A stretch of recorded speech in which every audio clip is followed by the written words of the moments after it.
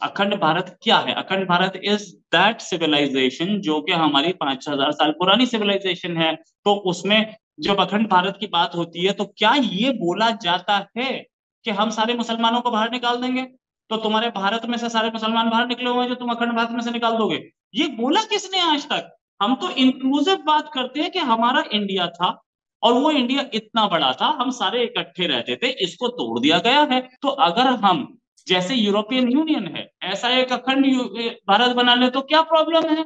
वैसे भी तो प्रॉब्लम नहीं है ना?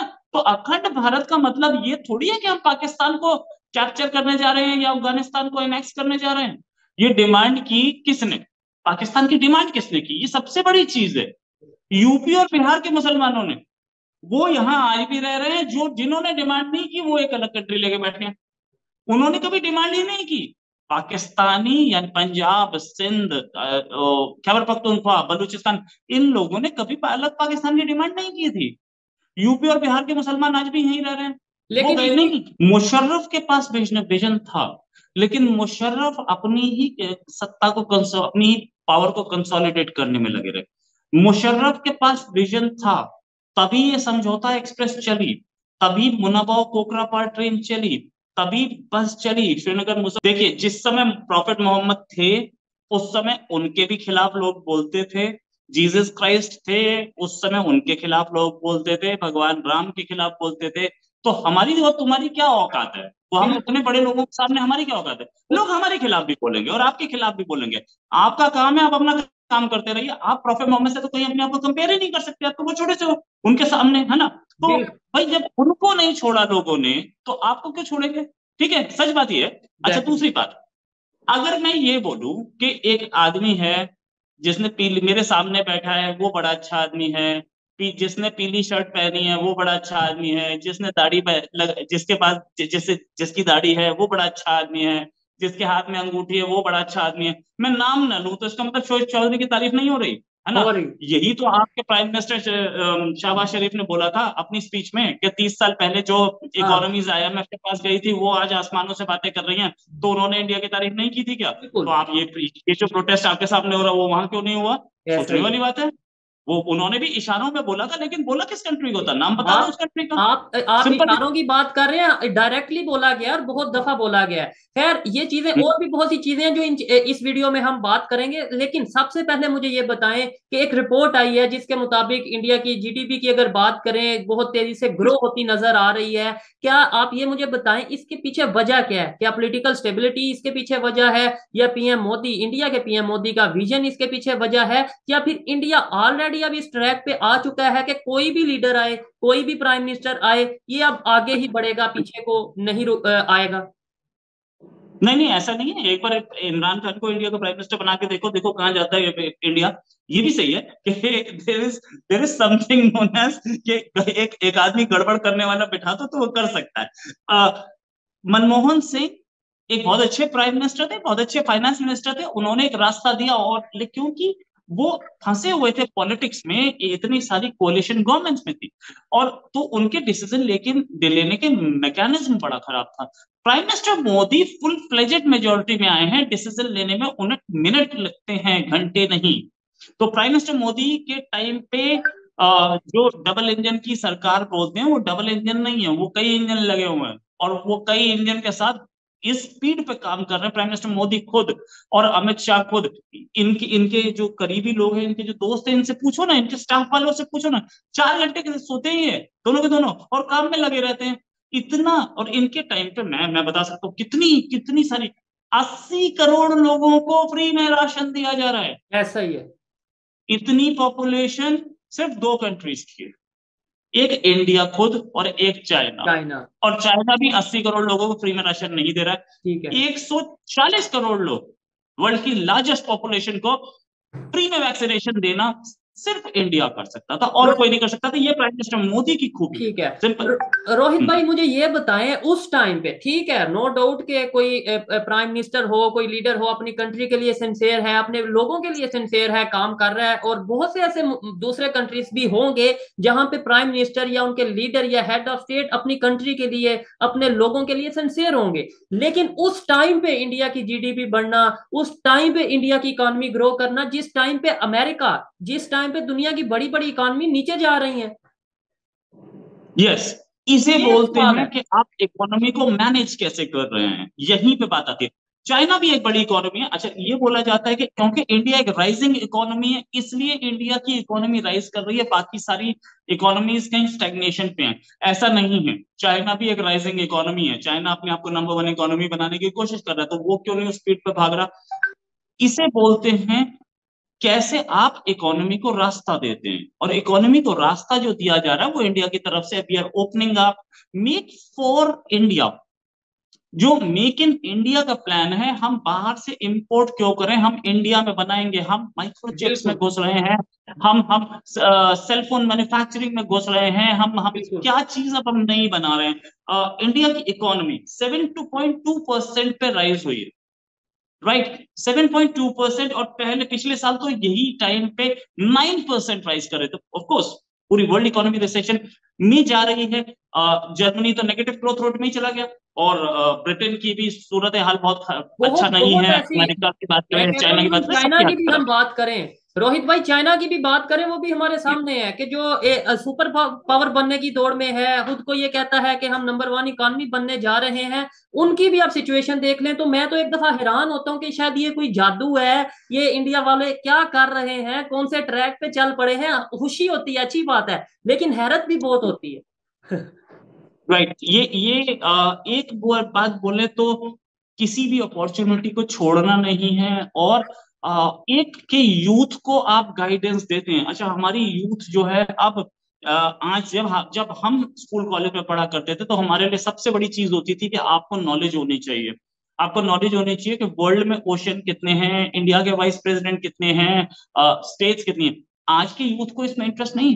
आज के यूथ को इसमें ज़्यादा इंटरेस्ट है कि लेटेस्ट टेक्नोलॉजी क्या आ रही है मार्केट में मोबाइल कैसे मैन्युफैक्चर हो रहे हैं आज के यूथ को ये है कि सेमी कैसे काम कर रहे हैं माइक्रोचिप्स कैसे काम कर रहे हैं। स्टार्टअप कैसे करना है अगर हमने बिज़नेस करना है वो कैसे करना है ये चीज़ों में इंटरेस्ट है डेफिनेटली यस yes, आज के यूथ को पता है कि वेंचर कैपिटलिस्ट क्या होता है। आज के यूथ को पता है कि फाइनेंस स्टार्टअप कैसे आते हैं। आज के यूथ को पता है कि हमें कहाँ से परमिशन लेनी माइंडसेट चेंज हो चुका है यूथ का। और ये सबसे इंपॉर्टेंट चीज़ है जो लड़के कॉलेज में पढ़ रहे हैं वो सब ये बातें कर रहे हैं। ये माइंडसेट चेंज होना बहुत ज़रूरी था। इनफैक्ट प्राइम मिनिस्टर मोदी का खुद का मैं कोई उनका फॉलोअर नहीं हूँ लेकिन जो सच है जैसे आपको बोला जाता है कि आप इंडिया की तारीफ़ करते हो मुझे भी बोला जाता है कि मोदी की तारीफ़ करता है। ये तो ये तो बिल्कुल मोदी भक्त है। भाई जो चीज़ तारीफ़ करने लायक अभी थोड़ी देर पहले मनमोहन सिंह कर रहा था ना जो चीज़ तारीफ़ करने लायक है वो की जाएगी मजबूरी है। प्राइम मिनिस्टर मोदी खुद खुद इंटरैक्ट करते हैं स्टूडेंट से कई बार, साल में एक जो दो बार नहीं, कई बार, और उनको बताते हैं कि हमें कैसे आगे चलना है। मैं आपको मन की बात हर बार आती है, हर संडे हर लास्ट संडे प्राइम मिनिस्टर की रेडियो स्पीच है। सबसे लगातार आ रही है। और वो उस रेडियो स्पीच में वो बहुत सारी चीज़ें बोलते हैं जो उनका विजन है बच्चों के लिए सोसाइटी के लिए। उनका interaction with the people with the society is wonderful और जो जो पाथ दिया जा रहा है वो डायरेक्टली हमारे करिकुलम में आ रहा है। तो ये ये सोचने वाली बात है कि कहाँ हमारी इकोनॉमी जाएगी। इसके बाद क्या हम लोगों ने दिया है क्या हम लोगों की आगे रास्ता है। और और स्टार्टअप्स को स्टार्टअप्स को बहुत सपोर्ट किया जाता है। सारे स्टार्टअप्स वेंचर सारे सक्सेसफुल नहीं होते हैं। ये सारी इकोनॉमीज को पता है। फिर भी अगर हम सबसे ज़्यादा यूनिकॉर्न दे रहे हैं वर्ल्ड के सबसे ज़्यादा यूनिकॉर्न्स तो इंडिया में कुछ है इसमें कोई शक नहीं। और ये इकोनॉमी वाइब्रेंट क्यों हुई? क्योंकि मनमोहन सिंह एंड मोदी ये दो प्राइम मिनिस्टर्स हमें बैक टू बैक मिल गए। ठीक हो गया। रोहित भाई मे, मेरी जो ऑब्जर्वेशन है उसके मुताबिक अगर हमारी ऑडियंस में अपनी ऑडियंस की बात करूँ या यूथ की बात करूँ आज के टाइम पे किसी को इंटरेस्ट नहीं रहा कि पाकिस्तान तबाह हो रहा है पाकिस्तान ये हो रहा है पाकिस्तान की इकॉनमी गिर गई है। आज के टाइम पे अगर कोई एजुकेटेड लोग जो इंडिया से हैं खासतौर पे या इवन पाकिस्तान से भी हैं वो फोकस कर रहे हैं कि किस तरीके हमने दुनिया के साथ कंपीट करना है। मैं अगर अपनी ऑडियंस की बात करूँ मोस्टली मुझे ऐसा लगता है कि एजुकेटेड ऑडियंस है और वो बजाय ये नफरतों के, वो इन चीज़ों को फोकस करती है कि किस तरीके से बिज़नेस बढ़ाया जाए किस तरीके से इंडिया का नाम पूरी दुनिया में किया जाए, पाकिस्तान का नाम पूरी दुनिया में किया जाए, किस तरीके से रिलेशन को बेहतर किया जाए पॉजिटिविटी क्रिएट की जाए। मुझे ये बताएँ, ऐसे टाइम पे जब आप तेज़ी से ग्रो कर रहे हैं, आपकी जीडीपी बहुत तेज़ी से ग्रो कर रही है और दुनिया इस चीज़ को मान रही है, ऐसे टाइम पे एक इंडियन के नज़दीक, पाकिस्तान, ये जो लोग देख रहे हैं, जो भी लोग इस टाइम मेरी वीडियो को देख रहे हैं, वो भी आंसर ज़रूर करिएगा। जो इंडिया से देख रहे हैं, खासतौर पर वो लोग आंसर करिएगा नीचे कमेंट में कि मुझे बताएँ, आखिर क्या वजह है कि एक साइड पे इंडिया तेज़ी से ग्रो करता नज़र आ रहा है, दूसरी साइड पे पाकिस्तान तेज़ी से नीचे आता नज़र आ रहा है। इसकी रीजन क्या है? पाकिस्तान में कौन सी ऐसी खामी है? पाकिस्तान के लोगों में गवर्नमेंट में या इदारों में क्या ऐसी खामी है जिसकी वजह से हम इकोनॉमी को ग्रो नहीं कर पा रहे? इवन इकॉनमी के अलावा किसी भी फ़ील्ड में हम प्रॉपर काम नहीं कर पा रहे। रोहित भाई, आप इस पे क्या कहेंगे? देखिए, मैंने पिछले 20 साल में जो स्टडी करके बताया है स्टडी किया है, उससे कुछ चीज़ें सामने आती हैं। वो ये कि इकोनॉमी बेटर क्यों नहीं हो रही? उसके लिए कोई विजनरी लीडर नहीं आया और आया भी तो उसको टिकने नहीं दिया गया, पहली चीज़। मुशर्रफ के पास विजन विजन था, लेकिन मुशर्रफ अपनी ही सत्ता को अपनी ही पावर को कंसोलिडेट करने में लगे रहे। मुशर्रफ के पास विजन था तभी ये समझौता एक्सप्रेस चली, तभी मुनाबाव कोकरापार ट्रेन चली, तभी बस चली श्रीनगर, मुजफ्फराबाद और इंडिया के वीजाज मिलने शुरू हुए, पाकिस्तान के वीजाज मिलने शुरू हुए। ये विजन था कि हम दोनों को पीसफुल को एग्जिस्टेंस करना है। वो वो Musharraf at one point of time इस लेवल पे भी आ गए थे कि कश्मीर सॉल्यूशन फाइनल हो जाता। लेकिन मुशर्रफ को ऑपरेट नहीं करने दिया गया। ठीक है? उसके साथ साथ इससे पहले वाले मिलिट्री डिक्टेटर जो थे जियाउल हक उन्होंने तो खैर क्या बताऊँ पाकिस्तान को उस लेवल पे ला गए जहाँ से उसके बाद किसी आदमी ने पाकिस्तान को बर्बाद किया है वो इमरान खान सीधी बात दो चीज़ें। ये आपकी ऑब्जर्वेशन है आप, जी। हम्म, मेरी ऑब्जर्वेशन है सही बात है। अब उसके बाद मैं एक चीज़ बोल रहा हूँ कि पाकिस्तान को एक विजनरी लीडर चाहिए लेके आए थे। मैं क्या नाम है उनका? वो अमेरिका से पर फाइनेंस मिनिस्टर को लेके आए थे और उसके बाद वो प्राइम मिनिस्टर भी शौकत अज़ीज़ शायद नाम था। शौकत अज़ीज़ प्राइम मिनिस्टर बने बाद में। तो एक ऐसे लीडर को लाना बहुत ज़रूरी है। ये और वो लीडर को फ्री हैंड भी ज़रूरी है। देन इस्लामिसाइज कर दिया गया कंट्री को। ये सोचने वाली बात है कि क्या आपके कंट्री में शराब नहीं बिकती है? अगर आप बोलते हैं नहीं बिकती तो झूठ बोलते हैं। और बिक रही है तो उसको ऑफिशियली क्यों नहीं बेचा जा रहा है? टैक्स आएगा। दूसरी चीज़, आपके कंट्री में बहुत सारे ऐसे काम हो रहे हैं जो कि इस्लाम में अलाउड नहीं है, लेकिन हो रहे हैं तो उनको ऑफिशियली कीजिए ना। ऑफिशियली करोगे आपको टैक्स मिलेगा आपकी इकोनॉमी को सपोर्ट करेंगे वो? आपने बोला बहुत से ऐसे काम हो रहे हैं। मैं अगर ये कहूँ कि हमारे पाकिस्तान में इस टाइम जो ओवरऑल सिस्टम है वही सिस्टम इस्लाम के अगेंस्ट है। अगर हम बैंक की बात करें इवन क्योंकि बैंक बैंकिंग सिस्टम से ही इकोनॉमी का सारा लिंक होता है तो हमारा बैंकिंग सिस्टम सूद का जो निज़ाम है वही इस्लाम के अगेंस्ट है। तो मैं कैसे कह सकता हूँ कि इस्लाम जी पाकिस्तान ला इला की बुनियाद पर बना पाकिस्तान एक इस्लामिक कंट्री है। ये कहने की हद तक तो हम कहते हैं जो हकीकत है जो सब कुछ हो रहा है, वो दुनिया को पता है। रोहित भाई, आपकी पार्लियामेंट की बात करते हैं। उस बात करने की रीजन ये है कि आपकी पार्लियामेंट में पाकिस्तान का मैप भी नज़र आया। आपकी पार्लियामेंट में कश्मीर, आपकी पार्लियामेंट में नेपाल का मैप, बांग्लादेश का मैप मैप नज़र आया। उसके पीछे क्या रीजन है? अखंड भारत की बात की जा रही है कुछ सोशल मीडिया की तरफ़ से। लेकिन जहाँ तक मैंने ऑब्ज़र्व किया है, वो तो कोई हिस्ट्री को लेकर कोई मैप बनाया गया है, कोई अपना इस तरीके से। आप इसके ऊपर क्या कहना चाहेंगे? मुझसे ज़्यादा बेहतर जानते होंगे आप। वो मैप ही नहीं है। उसमें कोई जोग्राफिकल बाउंड्री है ही नहीं। ठीक है। उसमें ये दिखाया गया है कि पुराने जमाने में कहाँ पे क्या क्या शहर हुआ करते थे उसको अखंड भारत का कोई नाम दे तो अच्छी बात है ना नाम दे तो कोई प्रॉब्लम नहीं है। मैं ये क्योंकि मैं एक पाकिस्तानी चैनल में बोल रहा हूँ इसलिए नहीं है। ये बात कांग्रेस ने भी अभी तक ये मुद्दा उठाया नहीं है। और उठाएगी भी तो अपने अपने वोट्स लूज करेगी। ऑफ़ कोर्स उसको अखंड भारत बोला जा रहा है नो डाउट अबाउट इट तो बोल सकते हैं अखंड भारत क्या है? अखंड भारत क्या है? अखंड भारत इज़ दैट सिविलाइजेशन जो कि हमारी पाँच हज़ार साल पुरानी सिविलाइजेशन है। तो उसमें जब अखंड भारत की बात होती है तो क्या ये बोला जाता है कि हम सारे मुसलमानों को बाहर निकाल देंगे? तो तुम्हारे भारत में से सारे मुसलमान बाहर निकले हुए हैं जो तुम अखंड भारत में से निकाल दोगे। ये बोला किसने आज तक? हम तो इंक्लूसिव बात करते हैं कि हमारा इंडिया था। और वो इंडिया इतना बड़ा था हम सारे इकट्ठे रहते थे इसको तोड़ दिया गया है। कुछ लोगों ने तोड़ा किसी वजह से तोड़ा हम आज फिर मिलके साथ बैठे हैं। किसी ने ये बोला कि भाई हमें अखंड भारत तो चाहिए लेकिन विदाउट मुस्लिम्स किसी ने बोला वो एक स्टेटमेंट दिखा दो अखंड भारत की बात हो रही है तो उस, उसको पाकिस्तान की साइड से एक तरफ़ तो पाकिस्तान मानता है कि इंडिया इतनी बड़ी इकोनॉमी है उससे हमें ट्रेड करें उसके साथ हम बात करें उधर जाएँ। तो अगर हम जैसे यूरोपियन यूनियन है ऐसा एक अखंड भारत बना ले तो क्या प्रॉब्लम है? वैसे भी तो प्रॉब्लम नहीं है ना?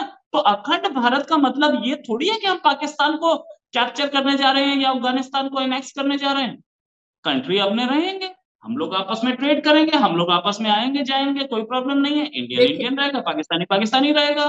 ये इसका मतलब है अपने अपनी सोच की बात है कि अगर किसी आ, वो जो मैप है आपने बोला वो मैप है ही नहीं वो तो एक हिस्ट्री को शो किया गया है जो पाँच हज़ार साल पुरानी या जितनी भी पुरानी हिस्ट्री है। लेकिन इस बात से मैं हंड्रेड परसेंट एग्री करता हूँ कि जैसे यूरोप में हम देखें कि जिस तरीके से आपस में ट्रेड की जा रही है और उनमें वर्ल्ड वार हो चुकी है। शर्मा जी आप तो मेरे से काफ़ी ज़्यादा जानते होंगे वर्ल्ड वार हो चुकी है। जिन स्टेट्स के दरमियान जिन कंट्रीज़ के दरमियान आज वो बिल्कुल बॉर्डर फ्री ट्रेड कर रहे हैं। और हमारे यहाँ पे हम रहे भी इकट्ठे हज़ारों साल हमने खाया भी इकट्ठा हमारी लैंग्वेज एक जैसी हमारा दिखना तकरीबन एक जैसा लेकिन फिर भी नफरतें क्यों नहीं कम हो रही फिर? देखिए ये प्रॉब्लम कहाँ है? ये प्रॉब्लम वहाँ है जहाँ पे ये बोला गया कि, कि हम हम रिलीजन की वजह से साथ नहीं रह पाएँगे। ये प्रॉब्लम और ये एक आदमी या दो आदमी या तीन आदमियों का सपना था। ये डिमांड की किसने? पाकिस्तान की डिमांड किसने की? ये सबसे बड़ी चीज़ है। यूपी और बिहार के मुसलमानों ने। वो यहाँ आज भी रह रहे हैं जो जिन्होंने डिमांड नहीं की वो एक अलग कंट्री लेके बैठे हैं। उन्होंने कभी डिमांड ही नहीं की। पाकिस्तानी यानी पंजाब सिंध खैबर पख्तूनख्वा बलूचिस्तान इन लोगों ने कभी अलग पाकिस्तान की डिमांड नहीं की थी। यूपी और बिहार के मुसलमान आज भी यहीं रह रहे हैं। लेकिन नहीं।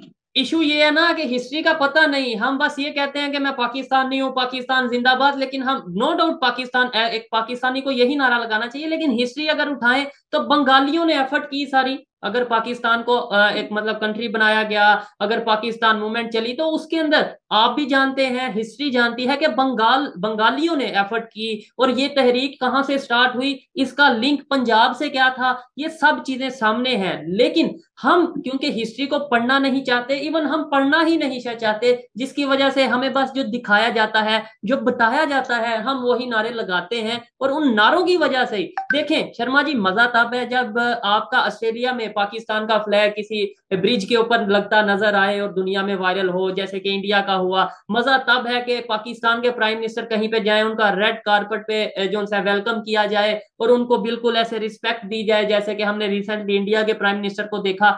तब हम कहें कि बिल्कुल ये चीज़ है, पूरी दुनिया में नाम है। आज पाकिस्तान का क्या दुनिया में नाम है? आज नेबर कंट्री का इंडिया इंडिया का दुनिया में क्या नाम है? सबके सामने है। लेकिन हम फिर भी जज्बात से बाहर नहीं निकल रहे, हम फिर भी ये कहते नज़र आते हैं अपने घर में। देखें, शर्मा जी, मैं यहाँ पे खड़ा होकर ये कह दूँ कि मैं इंडिया को एक दिन में तबाह कर दूँगा, मैं इंडिया को एक सेकंड में तबाह कर दूँगा। इंडिया को कोई फ़र्क पड़ेगा? इंडिया तो हंसेगा मेरे पे, इंडिया के लोग मेरे पे हंसेंगे। जिस तरीके का वेलकम प्राइम मिनिस्टर मोदी को मिलता है, उसके लिए बचपन में चाय बेचनी पड़ती है। उसके लिए कई साल जंगल में भटकना पड़ता है और उसके लिए गरीबी देखनी पड़ती है। प्राइम मिनिस्टर मोदी की बात अलग है। उन्होंने अपनी एक प्रेस्टीज खुद बनाई। इससे पहले वाले प्राइम मिनिस्टर मनमोहन सिंह भी इंडिया के प्राइम मिनिस्टर थे, उसी इकोनॉमी के प्राइम मिनिस्टर थे, लेकिन उनको तो सऊदी अरेबिया ने हाईएस्ट अवार्ड नहीं दिया। या यूएई ने नहीं दिया। मुस्लिम कंट्रीज़ है दोनों। और उनको वो वेलकम नहीं मिलता ना तो ये डिपेंड करता है कि आप कितने, कितनी मेहनत कर पा रहे हो और आपके साथ कंस्ट्रेंट्स क्या है। प्राइम मिनिस्टर मनमोहन सिंह भी मेहनत करते थे, इसमें कोई शक नहीं है। लेकिन उनके साथ कंस्ट्रेंट्स इतने थे कि इतनी पॉलिटिकल पार्टीज़ को मनाना पड़ता था उनको, वो वो डिसीज़न ले ही नहीं पाते थे। बहुत सारे, एक एक न्यूक्लियर डील का डिसीज़न में कितने हंगामे हुए, ये मूवी है एक्सीडेंटल प्राइम मिनिस्टर उनके अपने मीडिया एडवाइजर की लिखी हुई किताब पे बनी आप देख सकते हो। और वही डिसीज़न अगर प्राइम मिनिस्टर मोदी ने लेना होता तो वो एक बार में बोलते टन और दाएँ बाएँ जितने लोग हैं सारे चुप हो जाते हैं। तो इसमें टाइम वेस्ट होता है और कंट्री की प्रोग्रेस जो होती है वो रुकती है। यही प्राइम मिनिस्टर मोदी आकर के पिछले हमारे जितने भी प्राइम मिनिस्टर थे उसमें से कई प्राइम मिनिस्टर से ऊपर बेटर डिसीज़न मेकिंग पावर दिखाते हैं। चले, अच्छी बात है। और मैं चाहता हूँ कि मतलब जो भी कंट्री है, कोई भी इवन मैं चाइना की बात करूँ, मैं चाहता हूँ कि चाइना भी मजीद डेवलपमेंट की तरफ़ जाए। मैं कहता हूँ अफ़गानिस्तान भी मजीद डेवलपमेंट की तरफ़ जाए। मैं कहता हूँ ईरान भी, अगर आज इस कंडीशन में है, जैसी भी कंडीशन में है, वो डेवलपमेंट की तरफ़ जाए, बांग्लादेश भी डेवलपमेंट की तरफ़ जाए। लेकिन जब मैं कहता हूँ, मैं चाहता हूँ कि इंडिया भी डेवलपमेंट की तरफ़ जाए तो तब मैं गद्दार, तब मैं एजेंट तब मैं मतलब इस तरीके से एक प्रोपोगंडा करने वाला यूट्यूबर सामने आता हूँ। तो इसकी ये सोच है, जो कि पाकिस्तान के लोगों को बदलने की ज़रूरत है कि भाई नफरतों के साथ कभी कोई आगे नहीं बढ़ पाया। मोहब्बत चाहिए पॉजिटिव माइंड चाहिए, कोई भी चीज़ है, उससे आपको सीख लेने की ज़रूरत है, ना कि उसमें से नेगेटिविटी निकालने की ज़रूरत है। रोहित भाई, मुझे ये बताएँ इंडिया की यूथ की अगर बात करें, जो कि जाहरी बात है मोस्टली जो सोशल मीडिया यूज़र हैं, वो ऑलमोस्ट यूथ होते हैं। वैसे तो अब हर एज के लोग सोशल मीडिया यूज़ कर रहे हैं। लेकिन यूथ पाकिस्तान को किस प्रोस्पेक्टिव से देखती है, किस एंगल से, किस सोच के साथ समझती है आज के दौर में? यार सच बताऊँ तो आज की यूथ के पास टाइम ही नहीं है पाकिस्तान सोचने का। हमारे टाइम पे पाकिस्तान बहुत सोचते थे। जब हम स्कूल में हुआ करते थे, तब बहुत पाकिस्तान पे डिस्कशन होते थे। पाकिस्तान ये कर रहा है, वो कर रहा है। आज की यूथ की हालत ये है, या तो वो टेक्नोलॉजी में फंसे होते हैं, या उनको दिख रहा होता है कि नेक्स्ट मूवी कब आ रही है, किसकी आ रही है, कैसी आ रही है। और उसके साथ साथ वो डिस्कस क्या कर रहे होते हैं कि नया फ़ोन कौन सा आ रहा है लेटेस्ट टेक्नोलॉजी कौन सी आ रही है ये डिस्कस करते हैं। पाकिस्तान की जब बात आती है तो उनको ये लगता है कि एक नेबरिंग कंट्री है ठीक है? और वो नेबरिंग कंट्री हमसे लत्ती चार लड़ाई कर चुका है ठीक है? और ये बोलता है ठीक है यार वो डेवलप करे अपना हम अपना डेवलप करेंगे हम अपना काम करेंगे वो अपना काम करे। खत्म कहानी। इससे ऊपर यूथ नहीं सोचना चाहता। हाँ एक चीज़ यूथ के दिमाग में है कि हाँ वहाँ से टेररिज्म आती है तो उनको वो इस बात पे ज़रूर कंडेम करते हैं कि यार, हम भी तुम्हारे कंट्री में टेरर भेजते हैं, जो तुम हमारे कंट्री में भेजते हो। तो उस पर बोलते हैं कि यस एक बार इसको सबक सिखाना चाहिए। लेकिन हमारे, हमारी यूथ जो है, वो वो सिर्फ़ एक चीज़ बोलता है कि आप अपना डेवलप कीजिए, हम अपना कर रहे हैं, ठीक है। अगर आपके पास कुछ अच्छा हो तो हमें बताइए, हम ले लेंगे। हमारे पास कुछ अच्छा आप ले लो। खत्म कहानी दैट्स इट ठीक है? जाहरी बात है कि अगर कुछ अच्छा होगा तो ही अप्रिशिएट किया जाएगा। अगर लेट्स सपोज़ आज पाकिस्तान की इकानमी बेहतरी की तरफ़ जाती है, ये जो लोग देख रहे हैं वो भी ज़रूर कमेंट कीजिएगा और शर्मा जी आप बताएँ, आज पाकिस्तान की इकानमी अल्लाह करे बेहतरी की तरफ़ जाती है तो क्या इंडिया की तरफ़ से अप्रिशिएट किया जाएगा? आज भी अप्रिशिएट किया जाता है, अगर पाकिस्तान में कुछ भी अच्छा काम होता है, बिल्कुल अप्रिशिएट किया जाता है। प्राइम मिनिस्टर नरेंद्र मोदी खुद खुद साड़ी लेके पहुँचे नहीं थे। क्या नवाज़ शरीफ की मदर के लिए? बिल्कुल लेके पहुँचे थे। प्राइम मिनिस्टर नरेंद्र मोदी उनकी फैमिली में शादी में पहुँचे थे। तो अप्रिशिएट तो किया ही जाता है ना। जब भी हो और ऐसा नहीं है, बताओ कंट्री टू कंट्री भी प्राइम मिनिस्टर मोदी ने कई बार ट्वीट किया है, कई बार चिट्ठियाँ लिखी हैं शाबाज शरीफ प्राइम मिनिस्टर बने थे तो उनको चिट्ठी लिख करके कंग्रेचुलेट किया गया था। बिल्कुल किया जाता है। अब एक चीज़ होती है कि इंडिया की तरफ़ से कुछ अच्छा हो जाए तो उसको प्रोजेक्ट ही नहीं किया जाता पाकिस्तान में। ये इंडिया की तरफ़ से हमेशा खराब ही खराब खराब ही खराब क्यों प्रोजेक्ट किया जाता है ये भी मुझे नहीं पता। कौन लोग उसमें वेस्टेड इंटरेस्ट रखते हैं वो? और पाकिस्तान में एक प्रॉब्लम ये भी है कि पाकिस्तानी लोगों को यूथ को इंडियन यूथ की तरह बनना चाहिए कि हमें कुछ अच्छा लगेगा तो हम उसको पसंद करेंगे। हमें कुछ खराब लगेगा हम उसे पसंद नहीं करेंगे। हम लोगों के लिए Indian youth India Indian Muslim हो या इंडियन हिंदू हो या क्रिश्चियन हो या सिख हो, अपने घर में रखता है रिलीजन को, वो सड़क पे नहीं लाता। और कभी भी उस यूथ को किसी मुसलमान से कुछ नॉलेज मिल रही है तो वो लेगा। इंडिया वाहिद वो कंट्री है, जहाँ पे प्रोफेसर मुस्लिम है तो उसके पैर छुए जाते हैं। इंडिया अकेला वो कंट्री है जहाँ पे मुस्लिम लड़के जामिया मिलिया इस्लामिया में हिंदू प्रोफेसर से पढ़ रहे होते हैं कभी ये नहीं बोलते कि ये काफिर में नहीं पढ़ाएगा। और मुस्लिम प्रोफेसर इतने सारे हैं दिल्ली यूनिवर्सिटी में तो सारी यूनिवर्सिटीज में और उनकी इज़्ज़त कहीं पे भी कम नहीं होती सबके सारे प्रोफेसर के पैर छुए जाते हैं सारे टीचर्स के पैर छुए जाते हैं। अगर ऐसा है बहुत अच्छी बात है। रोहित भाई जी जी। रोहित भाई, मुझे ये बताएँ जो टॉपिक हमने स्टार्ट किया इकॉनमी और जो रिपोर्ट रिपोर्ट आई है रिसेंटली बहुत हैरान करने वाली रिपोर्ट है बहुत ज़्यादा ट्रेंडिंग भी है। आने वाले पाँच साल में आप इंडिया को कहाँ पे देख रहे हैं? क्या चाइना को कम्पीट कर पाएँगे या बीट कर पाएँगे? कम्पीट तो अभी भी ऑलमोस्ट कर रहे हैं। क्या चाइना को बीट कर पाएँगे? पाँच साल, दस साल में या मुश्किल नज़र आता है? नहीं, देखिए, एक बात तो मैं मानूँगा कि चाइना क्योंकि 1970s के एंड में चाइना के सामने एक चीज़ आई थी। 1970s के एंड एटीज और 90s पूरा चाइना का उसी चीज़ में बीता कि चाइना को हांगकांग जैसी इकोनॉमी को टेक ओवर करना था, वापस हैंड ओवर होना था। तो उनको ये लग रहा पैसे की कमी थी चाइना के पास। चाइना तो बहुत गरीब कंट्री था। तो चाइना ने अपनी उस हांगकांग की इकोनॉमी को बचाने के लिए सेवेंटीज के एंड में ही अपनी इकोनॉमी ओपन अप कर दी थी। और ये ओपन अप इंडिया ने 1990s में की तो करीब 10 साल से ज़्यादा, करीब 15 साल के आसपास का लीड ले गया है चाइना तो उसी के रिजल्ट्स चाइना देख रहा है। अदरवाइज़ इंडिया अगर इंडिया और चाइना दोनों इकट्ठे करते ओपन अप तो शायद इंडिया बेहतर परफॉर्म कर रहा होता। और अब भी हम पंद्रह साल के पीछे हैं। अगर आप ये देखें रोहित भाई सवाल ये वो तो डेफिनेटली डेफिनेटली देखें दुनिया को पता है इंडिया वालों को भी पता है चाइना वालों को भी पता है पाकिस्तान वालों को भी पता है कि इस टाइम चाइना की इकानमी बहुत आगे है इंडिया की इकानमी उसके मुकाबले में उस तरीके से नहीं है। लेकिन जो आपने बोला पंद्रह साल का डिफरेंस है इक्वल होने में मैं ये कह रहा हूँ क्या उसे पंद्रह साल ही लगेंगे या जल्द आप उसे रिकवर कर लेंगे? देखिए एक आदमी ने आपसे आप आप हंड्रेड मीटर्स आ, आप एक मैराथन दौड़ रहे हो और कोई आदमी आपसे पंद्रह मिनट पहले भागा तो आप पीछे ही होंगे लेकिन आप उसको धीरे धीरे करके कवर अप करेंगे तो वो पंद्रह मिनट का एडवांटेज तो उसको मिलेगा नो डाउट अबाउट इट वही हो रहा है। अगर आप ऐसे देखें कि आज से पंद्रह साल पहले चाइनीज़ इकोनॉमी कितने की थी तो वो थ्री ट्रिलियन की नहीं थी। इंडिया आज थ्री ट्रिलियन है तो मतलब ओपन अप करने के बाद इतने साल बाद इंडियन इकोनॉमी कहाँ है और चाइनीज़ इकोनॉमी कहाँ है तो इसको देखेंगे तो इंडियन इकोनॉमी चाइनीज़ इकोनॉमी से आगे है। लेकिन हम कंपीट कर रहे हैं और चाइनीज़ इकोनॉमी